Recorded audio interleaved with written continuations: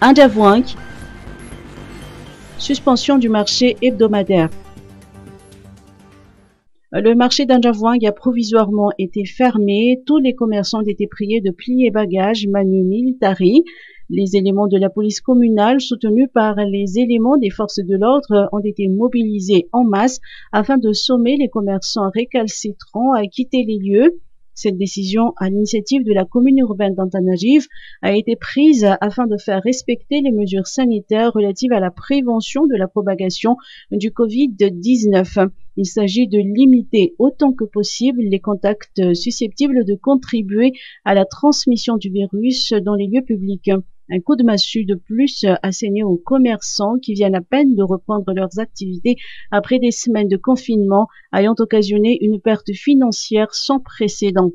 Ils ont manifesté leur mécontentement, dénonçant notamment une mauvaise communication de la part du service en charge des marchés de la commune urbaine d'Antananarive. N'ayant pas été préalablement avertis, les commerçants ont appris la nouvelle que dans la matinée, alors qu'ils ont mobilisé le peu de ressources qui leur restaient afin de pouvoir vendre ce jour, d'autant plus que la journée de mercredi coïncide avec le marché hebdomadaire d'Anjavouang.